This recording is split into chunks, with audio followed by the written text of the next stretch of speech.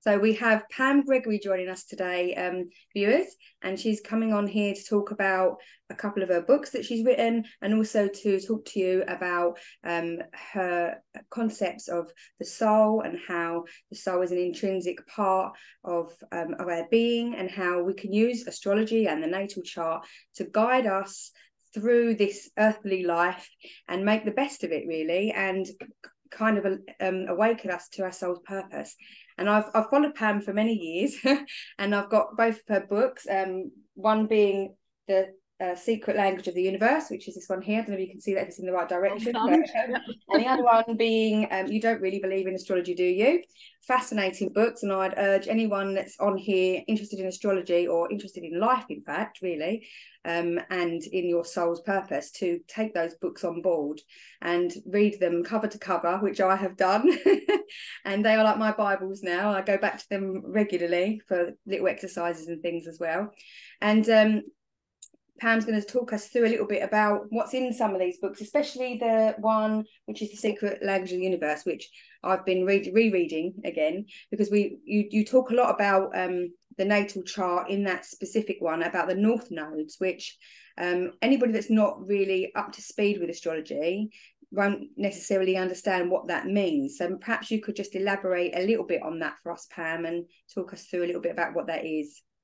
Yeah, absolutely. And I wrote that really, how to co create using the secret language of the universe, because in Indian, in Vedic astrology, the, the node that what's known as the, the moon's nodal axis is the most important thing in the entire chart. It's the dominating feature of uh, of an in Indian an Indian birth chart. But certainly when I was learning astrology, and really you know for for some decades, I'd say after that in Western astrology, there was very little spoken about the nodal axis. So I kind of became fascinated by it. And I have to say, both those books came through me, I think, rather than from me. So I was very blessed in that. But I became really intrigued by, by the nodal axis. And what this is, it isn't a solid thing. It's actually um, it's about the the moon's um, orbit. It's about the moon's orbit, which goes like a sewing machine, clipping north and south of the ecliptic um, but it has it really operates at the soul level rather than the personality level. And the more I worked with it, um, I was then taking clients and looking at my own chart too. And the more I worked with it, the, the birth chart moved from being circular to kind of like a compass needle. Mm-hmm. That if we're looking for our soul's purpose in life, the North Node really seemed to be what that was all about and the rest of the chart became the cavalry. Yes. So it became kind of this pointy circle, almost like a teardrop, if you if you like. And I thought, wow, this is incredible because if we're looking for soul purpose, that is, if I had to narrow it down to one thing, that would be the one thing I would say. Mm-hmm. And then a lot of information then falls from the North Node. Which sign is it in at the, at the time of your birth? Which house is it in? What's the ruler? Of that sign and you know what, what house is that and you know there's a whole series of cascading yeah. pieces of information which are incredibly incredibly rich. So i just went off down a rabbit hole for, for quite some certainly weeks a few months and thought wow this is incredible. And at the time i was writing it I was actually having my um, inverse nodal return, which means when the the transiting north node in the heavens comes to conjunct your natal south node. And the south node is describes the gifts and the skills and the abilities that we've learned in a past life or past lives and that's what we bring in with us mm. but we and, and that's a very kind of comfortable and familiar place to be because we've done it before in, in, in past lives but where we absolutely have to go in this current life if we are going to feel satisfied at the soul level, is to head towards the North Node, which is uncomfortable. yeah, which is uncomfortable because it's yeah. kind of territory and kind of, you yeah. know, I want to yeah. fall back to my South Node because that's comfy. I know how to do that. Mm. But we have to push ourselves to that North Node in order to get the soul's growth that we are meant to have yeah. in this lifetime. But it acts like a kind of infinity symbol, North Node, South Node, kind of weaving back and forwards. And I have to say, in observing the nodal axis, when it's um, transited either by the the transiting nodal um, axis in the sky in the heavens or particularly some outer planet like like mm. Pluto, like Uranus, like Neptune. Yeah. And I did some teaching videos on this, which were supplementary to the book. People can start to have some profound mystical and past life experiences. And it's amazing how it really does tally up, isn't it? Like the astrology, it doesn't lie and it really does show you what's going on. Like the things that are happening planetarily impact you because at the moment I've got literally transiting Uranus is on my south node and not long ago a few months ago I had the um the, the same situation that you had when writing your book I had the nodes were literally on my north and south node but opposite yep inverse nodes in Scorpio in the ninth house. So I was experiencing all of those and I've also got Pluto on my ascendant at the moment. So li- literally wow. coming over my ascendant. So it was really triggering and squaring all of my major you know points which and obviously with everything that's been going on in the world you know it, i think a lot of us are experiencing these you know these hits um in a big way you know? And so it makes such sense what you're saying about how the astrology just you know doesn't lie it really does guide us where we're going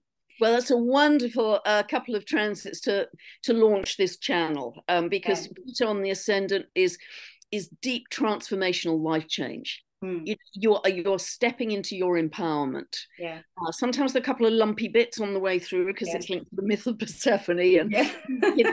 taken down to Hades and crossing the Styx STYX, and that's not tinkly really. Mm. But you then come up to the light, and and the message is the purpose is empowerment. And when you have transiting Uranus on your south node, you can often get some real downloads, insights, often galactic information linked to past lives that yeah. you are meant to weave into this infinity symbol of this life. So, I mean, fabulous. Um, and also Uranus's social media and yeah, awakening, exactly, and, you know, yes and all of that about you know um, being the voice and kind of using your voice and media like you say to kind of broadcast. So it's really interesting that the astrology really doesn't lie in that in that aspect. It's it's really telling the story of where we are so far. And i know watching your channels like we all do like we were saying it's like the 10 o'clock news in our house. We yeah. literally all sit around the, the tv waiting for a new video to come on and we're all sitting there watching it in awe because like so many things that you talk about because you do a lot of global astrology but you also do a lot of predictive astrology, don't you? So you're kind of, you know, giving foresight and what's going to come. And it's not like the normal things that you'd see maybe years ago. I'm showing my age here, like Mystic Meg when she'd write in the Sunday Times and you know zodiac signs. Zodiac and signs yeah. It's really intricate and really meaningful, and it it has evidence to back it up. You know, so that in itself I've found fascinating, and I'm sure you know you you've probably been on a real journey yourself with your astrology. I'm sure, like I know. Mm in the intro we talk about you being you know sp- your your your knowledge spanning 45 years in in astrology. And i know you've um you've trained with noel tyl isn't it as well? Yeah he was um a genius. I was yeah. so lucky. I had to do my master's course with him really fast because he was yeah. in his early 80s then. So i didn't know how long he was going to last yeah. i had to do it in well i did it in 16 months. So i did it really fast. I mean so it, for some people they were taking years but i wasn't sure how long he was going to be with us. And i'm really glad i i completed he was a, a technical genius, an absolute technical genius. I think sometimes that's what puts some people off of astrology, though. It is the technicality and the mathematical aspect of it. Because yeah. I know me and Beth, like I'm, I'm um, dyslexic, I'm dyscalculic as well, and and you suffer with ADHD, don't you? So I, I, know that for a number of years, I although I was really interested in astrology, I was really scared to kind of start learning it because I thought I won't be able to do it because of all of the mathematical all the numbers and the, and the aspects and, and yeah but I think there's a way of feeling around astrology, isn't it? It's more the symbolism, and it's I'm noticing now, and you know, as, as a medium and a psychic myself, um, people that I speak to about astrology, they seem to be tapping more into the almost the feel of the planets rather than just working with the actual chart itself, if that makes sense yeah. Yeah, yeah absolutely. Starting to read it like music. And so if you're yeah. you know if you're very psychic you're sort of you're feeling as you say into the resonances the frequencies of those different planets. And mm-hmm. i actually learnt my astrology very much like a language. It had rules. It was it was it was it was all about mathematics calculation. We used to have to calculate charts manually with log yeah. tables of the planets. Wow, that took forever. weren't allowed to use a calculator in in the lessons and the exams. I mean, it was really grounding stuff. But I, I've got quite a mathematical brain, quite an, an analytical brain, so mm. that was my route in. But if you're if you're very psychic and intuitive, you're reading the energy in a different way, and increasingly that's where we're all headed anyway with greater yeah. psychic sensitivity. You, you know, the North Node can teach us so much. As I say, I when I had that inverse nodal return, I was writing the book, but also I had that extraordinary um, experience down in southwest France with that Cathar lifetime. It was all tied up with a with a house that I'd bought there on the same field, literally the same piece of land um, where I lived 800 years ago. Wow. And so, so many um, past life experiences. It was very mystical. There were kind of shifts in dimension. I mean, it was it would make a great movie. It yeah. would make a fantastic movie. But it was the magic zone. It was just the magic zone. And I'm so grateful that all of that came through because it was so rich mm-hmm. in in helping me grow. And you know, you you made the point about I've been astrology kind of stumbled into my life um, at a yoga class when I'd emigrated to Canada. You probably know that story, yeah. but I don't know what my life would have been without astrology. I don't know who I would have been. Um, it's taken me on such a journey the people i've met the experiences i've had the the kind of framework it gives you energetically psychically but also it gives you a framework for your spiritual evolution I, I don't know who where who, who and where i'd be without it i'm so grateful it becomes like a religion almost doesn't it like a belief system as well it's mm. like you believe in it so much because it because it is so so true and so right that we check it for everything, don't we? Yeah. When we were launching, when we were launching the business, I was trying to figure the right time yeah. to launch it. I was thinking, oh, which one shall I do to get yeah, the attendant in the right place? You know. The funny thing is, you you don't have to believe it, which is why I wrote the first book. You don't really believe in astrology, yeah. do you? Yeah. I was in the corporate world then, and and I was doing well in the corporate world. You know, I'd been made a director at a very young age, and so um, my business colleagues and clients you know, we're thinking, well, she's obviously got half a brain. You know, she's doing quite well, got half a brain. But if it ever leaked out that I was an astrologer, my goodness, they'd take me off to a corner and say, come on, you know, in a conspiratorial whisper, you know, yeah. you tell me you don't really believe in this stuff. So that's why I wrote the book because there was such a grand canyon between my um, growing reality of what I was seeing mm. and their very narrow perception of it's just all about sun signs. Well, if it's just all about sun signs, it wouldn't have taken me exactly many lifetimes of learning, and I'm still learning. You know, you it, said in one part that you there's over three thousand ways of reading the chart or something, isn't there? Thousand variables, yeah. yeah. So belief for me doesn't really come into it because it's a language. You know, it's like yeah. saying to people, "Well, do you believe in French?" Yeah yeah it is what it is. Yeah. it is what it is it's a language. So I, I, know people think they have to believe in it but they absolutely don't. It's just it's an energetic language which is mathematical and to do with sacred symbolism and that's how i see it. And it, it, it's the language of the universe it's the language of god. I think whatever you conceive god to be of divine intelligence. Yeah. and it can teach us so much because I'm, I really am trying to stretch my interest beyond what I call the bread and butter planets, out to the dwarf planets, the Kuiper Belt objects. Yeah, that's a really interesting subject. I'm fascinated by that. What, when you talk about the dwarf planets and the Kuiper Belt objects, and you talk about the mythology behind, like for example, Sedna and all these other planets, it's just mind blowing because a lot of the the actual um, mythology relates to the astrology as well, which it, it is the astrology because people like, write to them say, please don't talk about this, just talk about it. Well, it is the astrology. Exactly, it is the astrology, yeah. It's the story behind it is what's unfolding. Yeah, it's expanding our consciousness. And I think it's leading us to a point of realizing that our consciousness is infinite mm-hmm. and that the cosmos is fractal.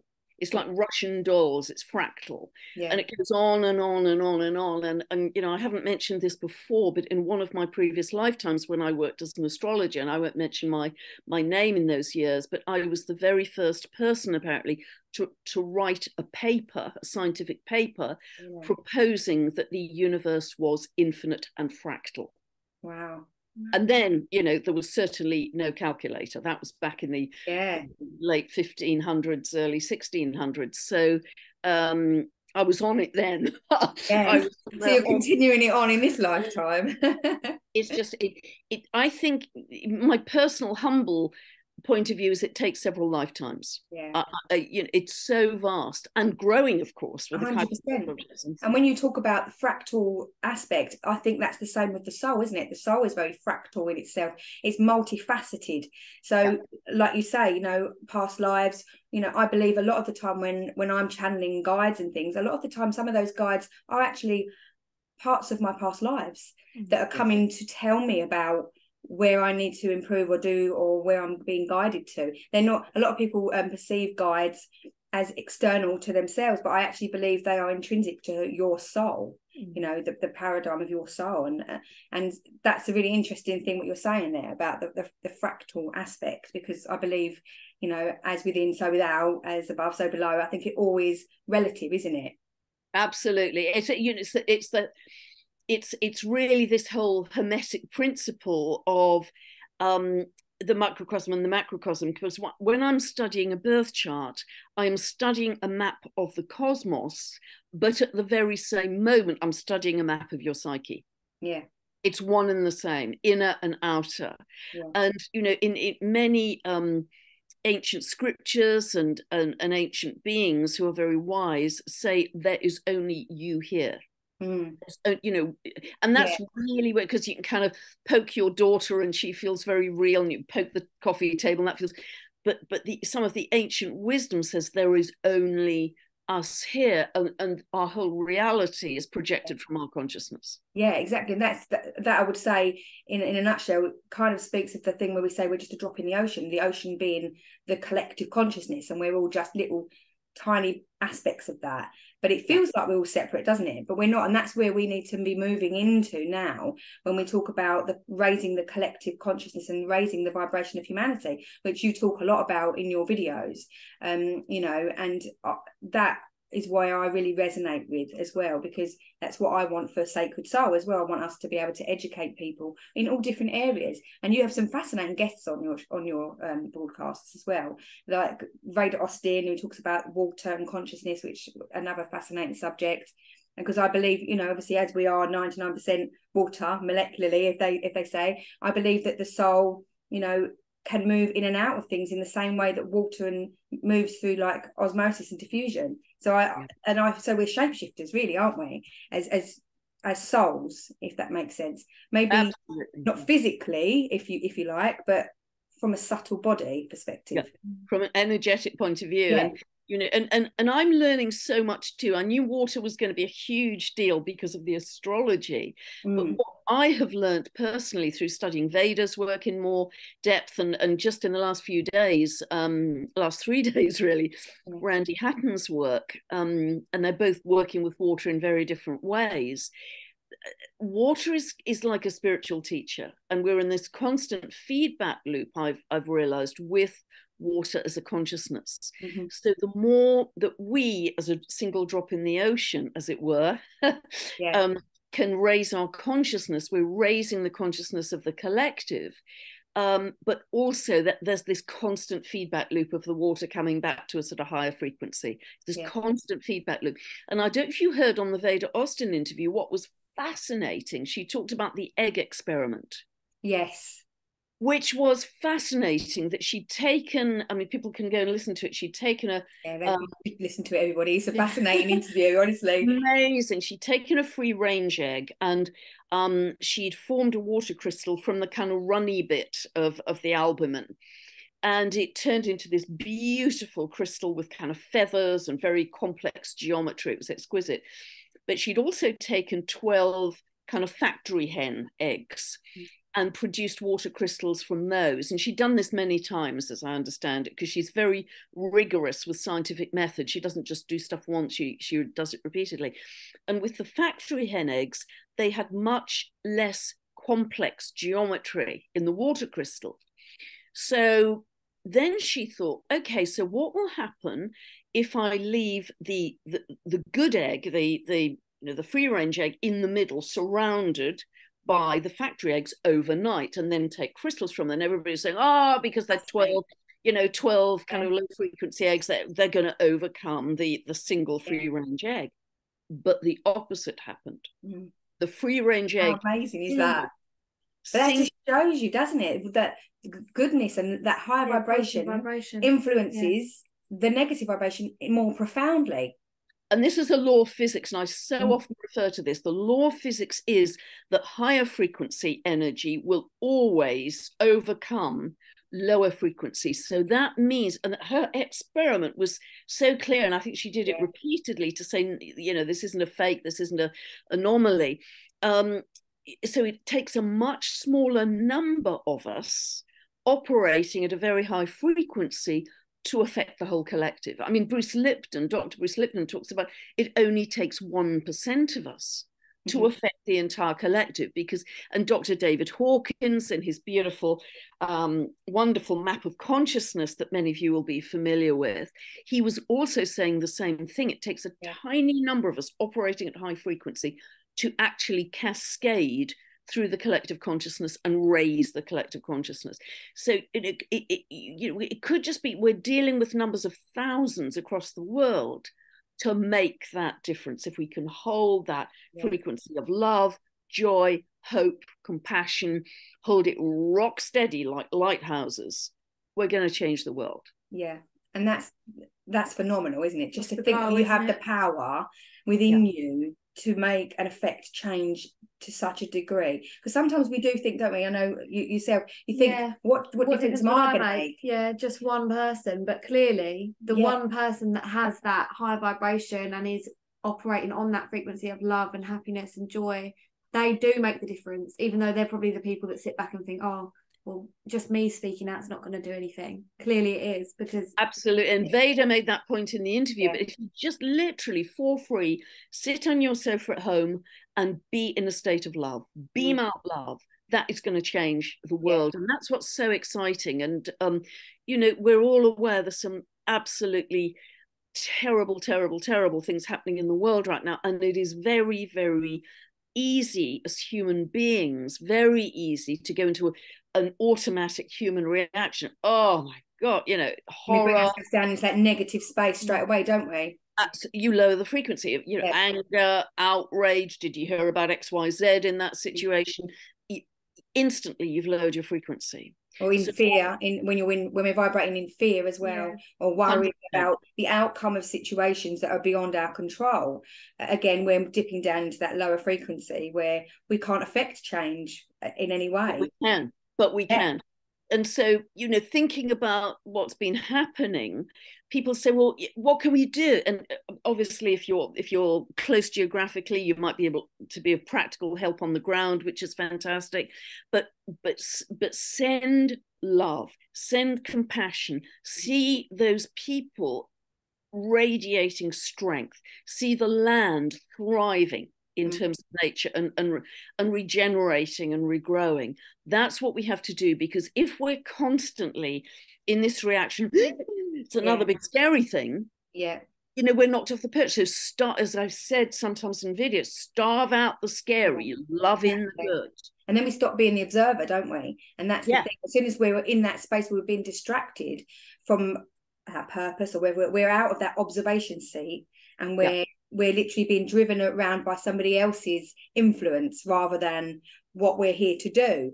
You know we're being knocked off our perch if you like. I know you, you say very much about being the eagle and looking from the eagle's perch and i think that's again another analogy of what i'm saying about being the observer the observer being in the observation seat Absolutely, 100%. You know, stay rock steady yeah. as the neutral observer, sending love, sending compassion, whatever you can do energetically, but stay rock steady as a lighthouse mm-hmm. because they're going to be more, uh, you know, as you well know, we just chatted about it before yeah. we started recording. There are going to be many, many more things where it's going to be very easy. So, yeah, another big scary thing, but that is allowing external awful things to knock you off your perch yeah. in terms of frequency. And the frequency is everything. Everything cascades individually and collectively from our frequency. Mm-hmm. And that's what's going to create new earth. So you've got to be rock steady mm-hmm. um, in holding that and not be diverted. And uh, uh, and you know like everybody else I, I, felt massive compassion massive heart opening for what's been happening. Yeah it's awful with, with what's but going on. my you know my reaction has got to be love compassion seeing those people absolutely thriving seeing nature thriving. I am not going to allow my frequency to drop because that isn't helping me and it isn't no, helping exactly. them and no help to others when you're in that space we're exactly. acting as a ball and chain on creating new earth yeah because then we halt our progress and the progress of others and that's yeah. why you know I know you, know you've had Cathy McBean on your um, channel as well who talks about um, the People's Health Alliance and um, Food and Farming Alliance and these are all communities that are kind of building now and building momentum, aren't they, for us to, as individuals, to become a part of and to see what we can offer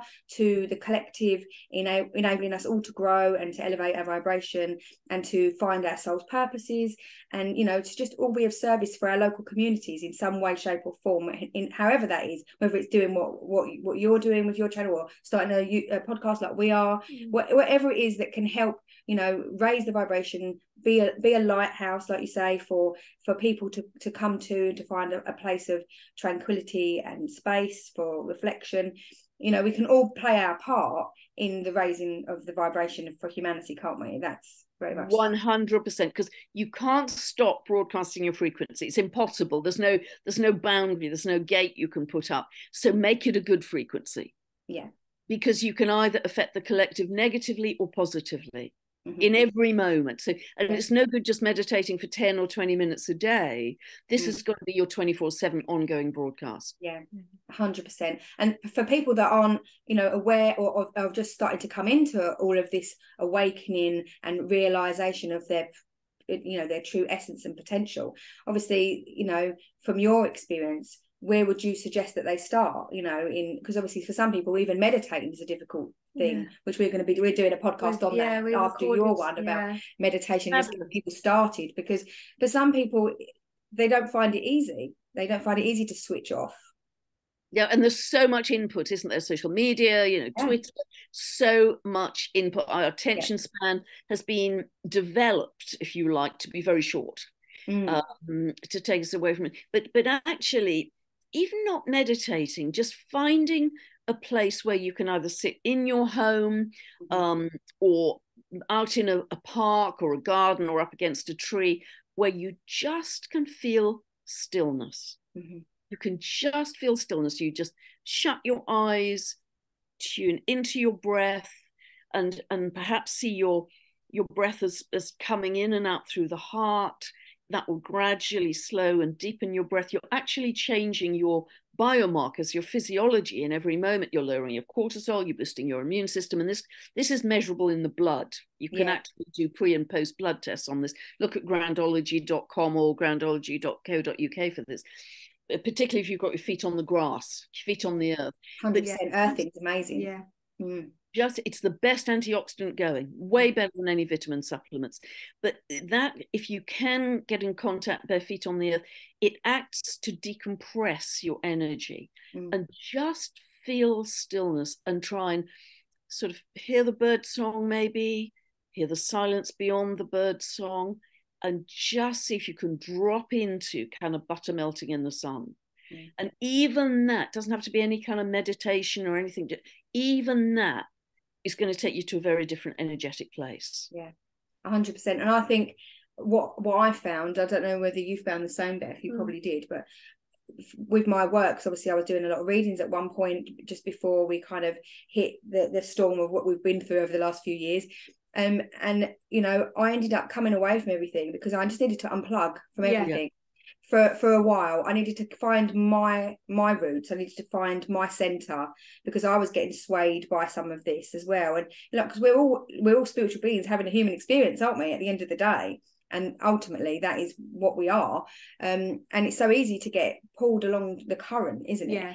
And i think what you're saying there is just you know to sometimes you need to just find your point of stillness again. Yeah, I found that with uh, social media and the, the whole online world, and like you said earlier about the attention span being decreased so much, I've come off all social media because I just found that it was I was really struggling to, you know, like take in certain amounts of information and be able to put a block on it when when I was going to bed. It was just too much. There was too much noise constantly.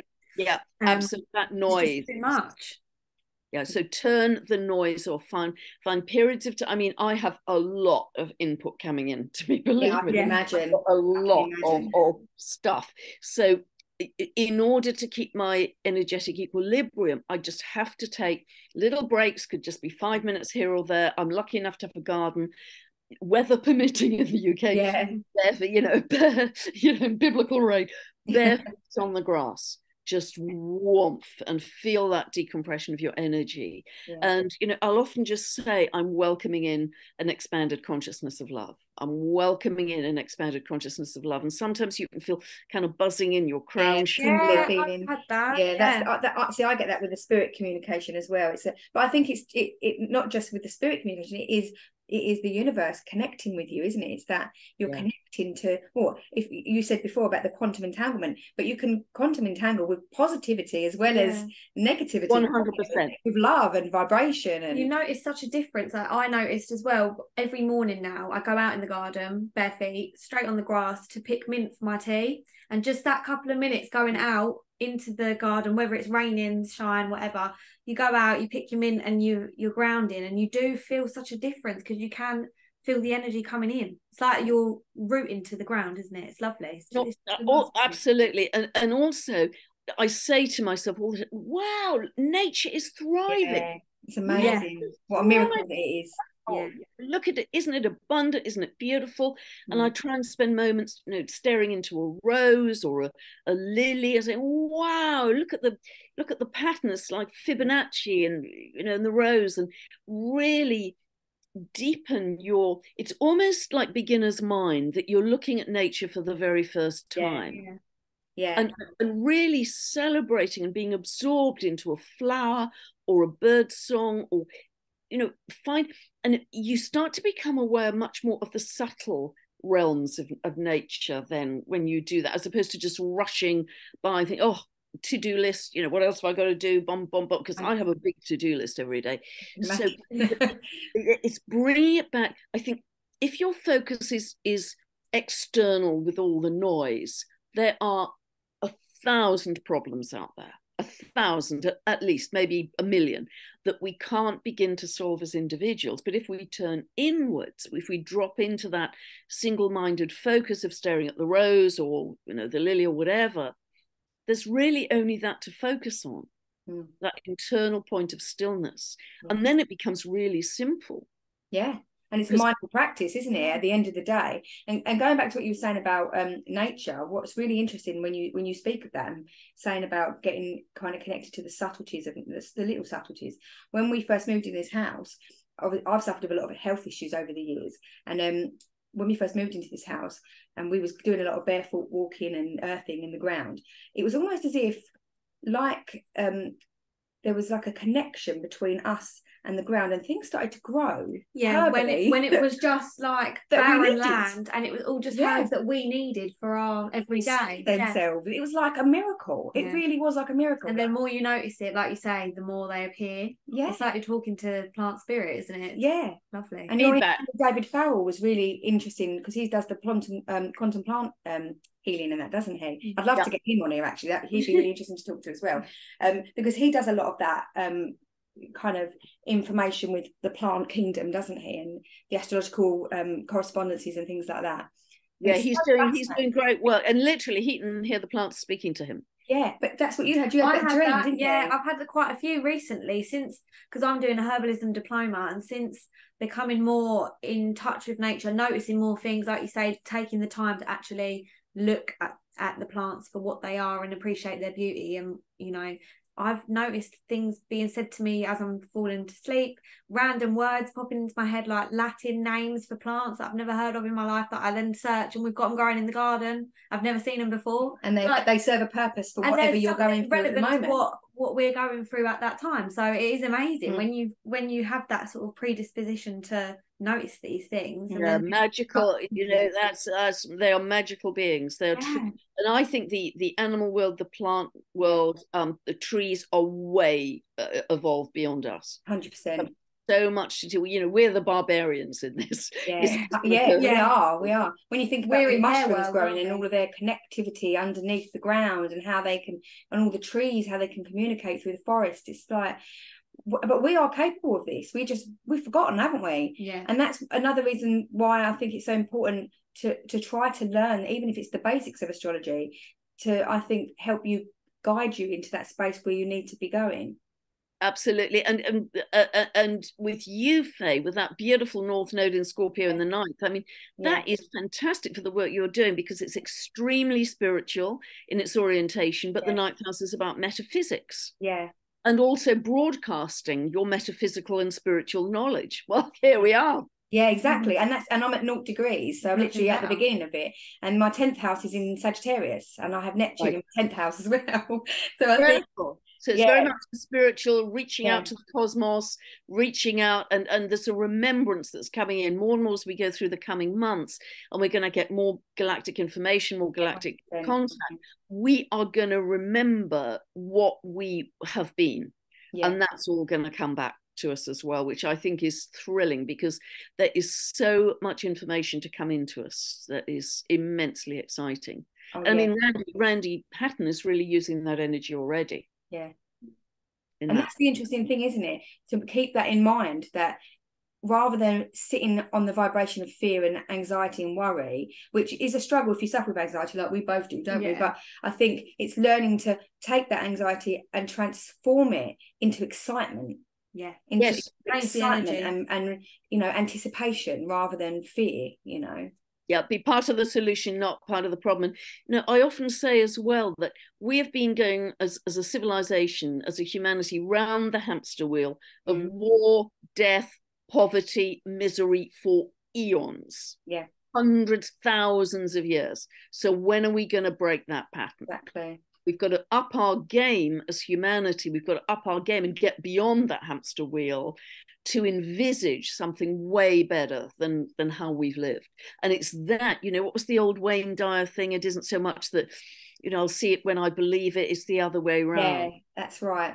Yeah, know the one you're talking about almost like fake it till you make it you know you Yes. believe it and then it will happen. So you're the power you're sitting in the manifestation seat really aren't you? That's what his philosophy we are powerful co-creators. So step into that new energetic hologram of absolutely who you are going to become Mm. in this lifetime and your future self. See you as the highest version of self Mm. and then start to live that way day to day. Feel the energy of that.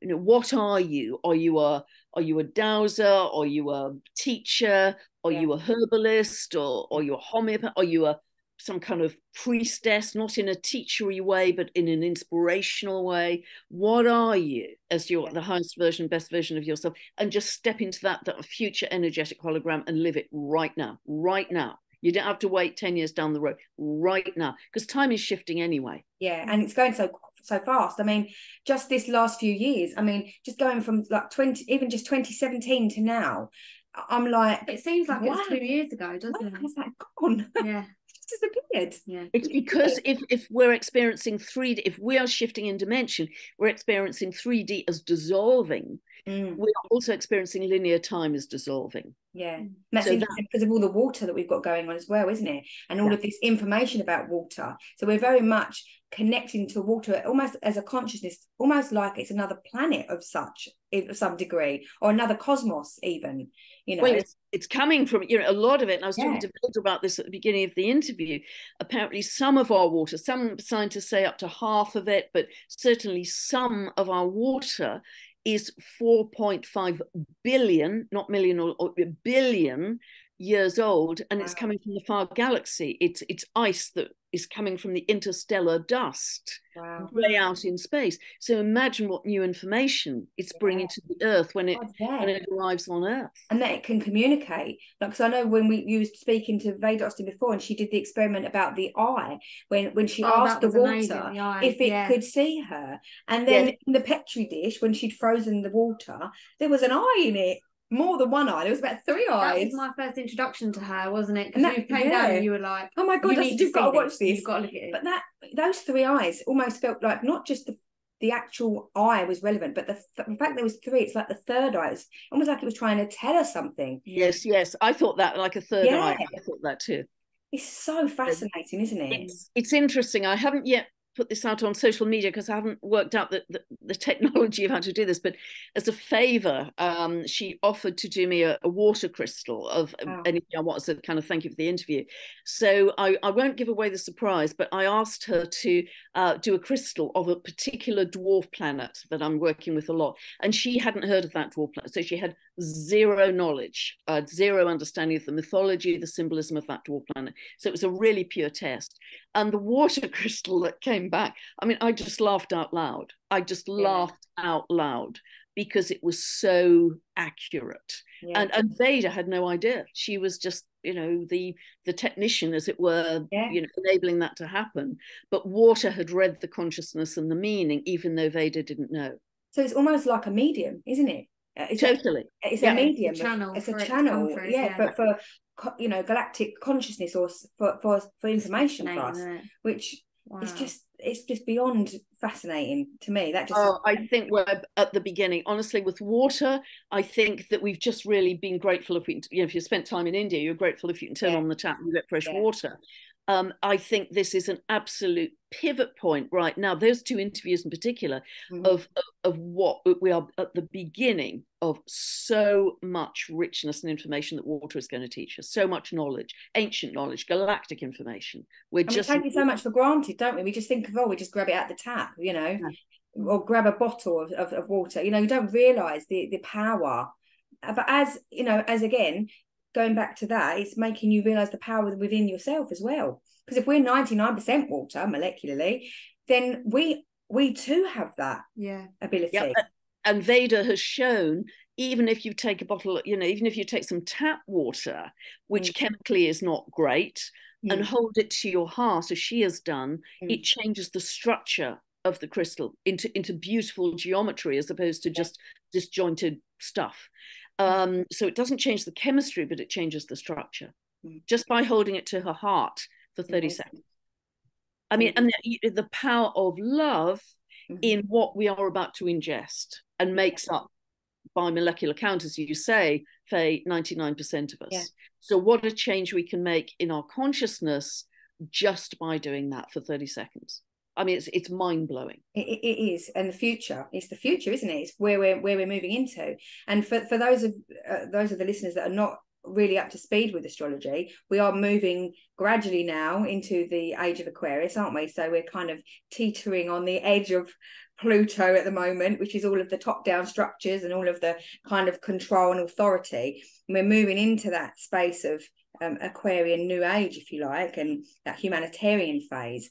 And f- from your perspective, Pam, you know, obviously, I know it's, it's going to be a bit of a bumpy ride to start with, but where can you see that kind of going for us? You know, on the in the astrology over the next yeah if i look back because i've done a lot of historical analysis of okay what happened last because because yeah. essentially astrology is a little bit like economics or meteorology yeah. you look at the cycles of planets and say okay what happened last time so pluto's got a 246 to 248 year orbit so you've got to go quite a long way back and then back yeah. further and back further so i've looked at the historical cycles and always when there was this shift out of the end of Capricorn into the beginning of Aquarius, there was a challenge to the top-down structure. Now, yeah. historically, the top-down structure might have been the all the abuse of power, the yeah. top-down structure with a lot of control, rules, and regs. You to yeah. do this. It could have been the church. Yeah. It could have been a very autocratic system of monarchy. Mm-hmm. It could be, you know, now it could be, let's say, governments, corporations, institutions, but it's a top down structure of verticality, which is elitist. Yeah. Rich, powerful people at the top, very poor people at the bottom. And always with that transition into Aquarius, there is a shift to people awakening. Mm-hmm. To realizing they are not victims of the system, but they have power. So they move from being passive to being co-creators yeah. and taking their power back now that doesn't come lickety split without you know no. without some challenge uh, because the aquarius is also the sign of uh, rebellion revolution yeah. etc but it's shifting the power back to the individual mm-hmm. and away from big top down structures. Yeah. So increasingly, we are shifting from verticality socially and politically to horizontal social structure. It's going to take a little bit, you know, some months and a few years, but increasingly we are going to be moving into collaboration, into communities, into sharing, into coming together. If you think of the glyph of Aquarius, it's like frequency. So we're, yeah. we're finding our soul tribes, we're finding our family of frequency. I've been with mine this morning, wonderful group of people who are creating, okay, what can we do to create a better world? Can we buy land? Can we grow food? People are doing this all over the world already. Yeah and people are much less interested in their their stock market portfolio. If you're investing for profit they say okay yeah.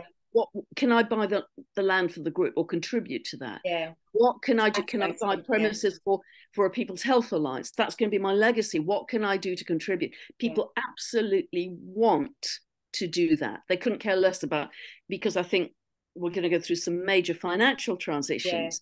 So it's pointless you know? Exactly Exactly. Things Let's become irrelevant, things, don't they? It's more about love and compassion yeah. and sharing and helping each other because yeah. that's where I'm, you know, that's where I've seen the seat of, you know, expansion unfold for me with with with the work that I do. I mean, I've seen a lot of people you know going on and, and doing their mediumship and you know making fortunes and money from all different things you know and making all different courses and that but uh, in the same breath it's not just about making money is it mm. you know why can't people access some of this for free? You know and and because ultimately if we really do want to raise the vibration of humanity not everyone can afford to do these courses. I mean i know over my lifetime of study which spans about 30 years of different various different things it's cost me thousands of pounds in, in study but not everybody's coming from that perspective where they can afford to do that. And that's why we've created sacred soul because we wanted to be able to offer people some education through discussions with you know interested individuals like yourself pam but also offer them some um, education and some yeah. you know downloadables and pdfs that they can kind of access some of this information for free so that they can help that can help them with raising their vibration because what's the point of leaving people behind? That uh, ultimately that one person that can't access that information could be that deciding factor of that one extra point of lifting us up that vibrational frequency. 100% and that's why i've sort of i've tried to construct a business model where all the information on my YouTube channel is free, obviously yeah. for all viewers. 100%. I write a long, um, sort of six to seven thousand word newsletter every month. That's free. Yeah, completely free. The only thing I charge for is my training courses because they took a lot of time yeah. to film and produce. But your tutorials are really reasonably priced as well, Pam. They're not they're not unachievable for people to, to, I mean, some of them are eight pounds, ten yeah, pounds. They're, they're really you know, and, and there are hours of teaching in there. Yeah, and they're very, very insightful. And I, have done a few of those ones myself as well. And I'm doing um, I'm me and my auntie at the moment. We sit down and we go through different ones because I'm helping her to learn a bit of astrology as well. And your videos are, are fantastic for that because they're a real visual as well as you know yeah. the the kind of understanding of it and the underpinning of it. It's yeah, packed with information because yeah. I want people to go on their own astrological journey because that's a journey of empowerment. So. I want people to do that. So I'm not interested in making a load of money from it. I want to make them accessible. I've got a I've got certain costs with the website yeah. I have to use. Course, we've all got to earn a living, haven't we? Because at the moment we still have one foot in that 3D reality, don't we? We have to earn a living because we've got to try and keep roofs over our heads and food in our on our table, and you know, and we're no, of no use to anybody else if we go down the drain pipe, you know. So yeah. there is that element of finding it's finding that balance, isn't it? It's it's it's kind of you know moving away from being completely money oriented and being a little bit more balanced with that and sharing. It's shifting it's shifting so fast Faye it, I, am seeing it with my own eyes with the groups. You know mm. if one person is struggling in a group somebody else will lend them money somebody else will give them food. We want to come together because we realize we are all one humanity. Yeah. ultimately we are one consciousness actually. And some of the, the i know this seems like a radical thing to say but some of the terrible things that are happening in the world you know if it is true to say that our individual individual reality is a reflection of our individual consciousness, then logically it must be true to say that our collective reality is a reflection of our collective um, consciousness. Exactly. Yeah. And so as long as we are in in fear, anger, judgment, we are going to see those awful things playing out in the world. You know, another big scary thing. So we've got to get a grip. We've got yeah. to get a grip as individuals to change the collective consciousness to stop those things happening. Because it's no good saying, well, they're the bad guys and we're the good guys. No, it's actually coming from the collective as, as one unique, you know, one unity consciousness. 100% and i think that you know on that note talking of what we've so, spoken about with the north node you know when, when we're looking at the, the birth chart it's an integral part of the whole birth chart isn't it? Just like what we're saying about you know our, our influence affects everybody and it's affecting the collective. Mm. And that is part of our soul's purpose. So whatever like you say um, planet and and house and North Node is in, we still also have the collective responsibility to be heading in that same direction for the greater good of everybody. And so that is all part of our soul's purpose also. You know, there's 100%. Well, and you know, I in a recent video, I I, I shared a quote from Martha Graham, who was oh, apparently yeah. an amazing dancer and choreographer, and it was a beautiful quote, which I can't remember word for word, but essentially she was saying everyone has a unique essence, everyone has a unique purpose, and if you don't step up to shine your light, the world will not have it the world there'll be a missing piece of the puzzle if you don't do what you are here to do as an individual yeah. and you don't have to be loud and extrovert and shouty you can do it in incredibly quiet ways meditating at home on your sofa but that's your unique essence yeah. that the world need you were incarnated if you take away the meat suit for yeah. that unique essence to play out in the world right now yeah, I hundred percent resonate with that, and that gave me goosebumps when you said that. That that time on your on your channel i was like wow that really resonated with me. Because when you talk about the the birth chart being like um the hymn sheet from which we play the melody of our soul it, it, without our individual soul vibrations we'd never be able to play a song of any description would we? Because there would be no other music to put with it. And so we're, we're, all part of the orchestra aren't we really when you look at it 100%. from that symbolic perspective and yep. so if we're all going to want a lovely frequency to, to emanate from, we're going to all have to put our little part in.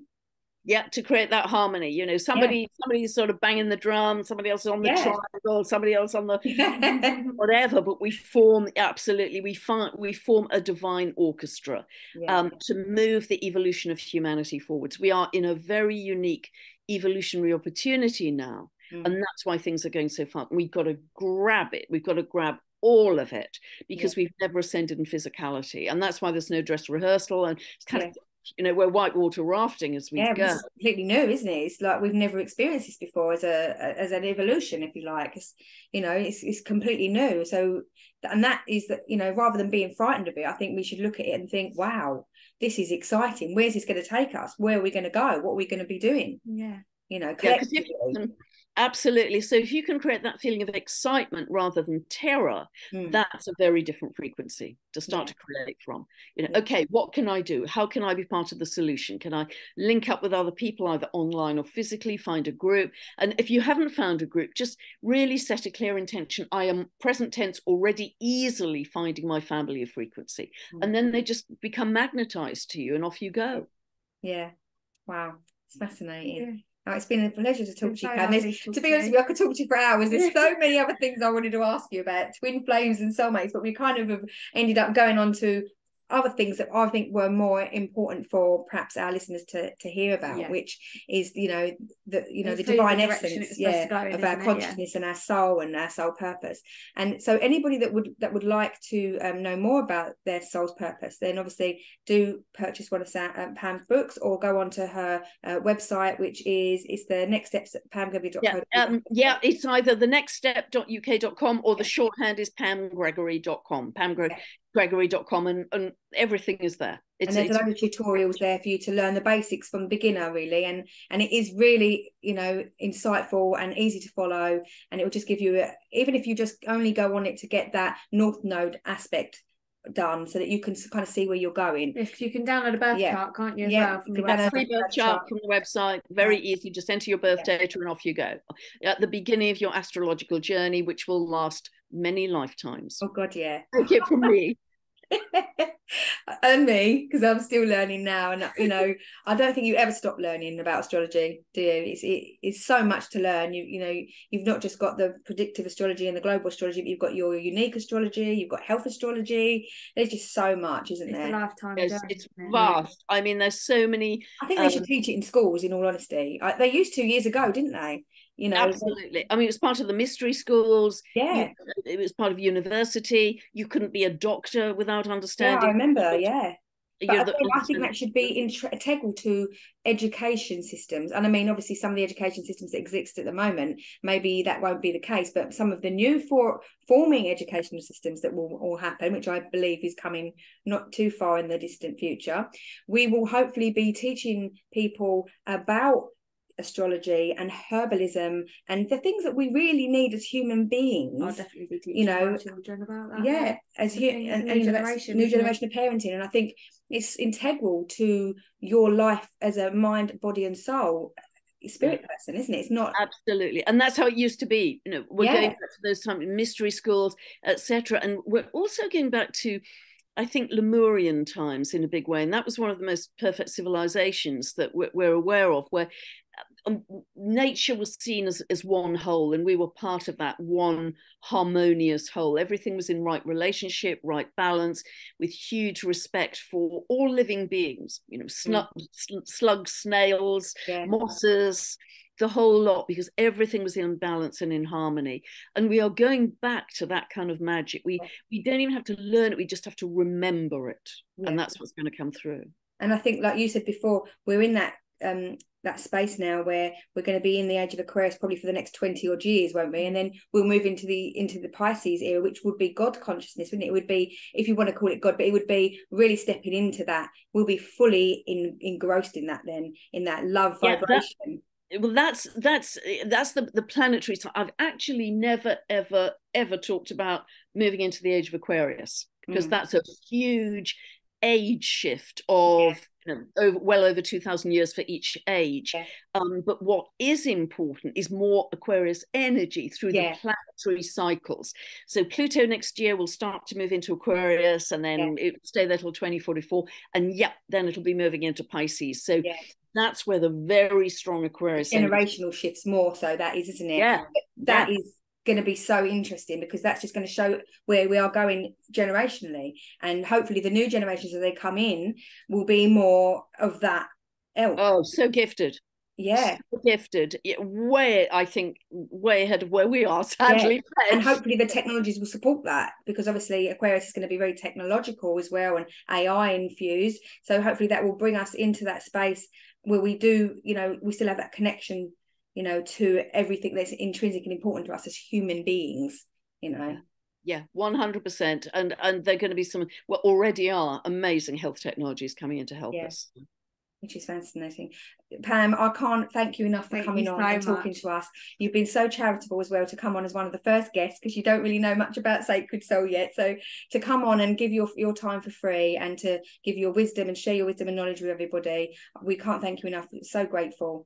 And no it's been a joy Well- love the conversation actually because yeah, and, Yeah, and maybe about- later at another time if you're not a busy lady, which you probably will be, you might be able to come on again to talk about a different subject. But we'll see how that goes. But thank you Yeah. so much, Pam. It's been a, been our It's been pleasure. a pleasure to talk to you. Yeah. Yeah. it's been fun. really wonderful thank you so much and, and have a wonderful rest of day and it's it, it isn't raining in the uk today so that's another No, sun's out. weather. Thank you, Pam, and God bless and Take um, care. take care. See you later. lots of love to everyone You too. bye for now Bye bye, Pam.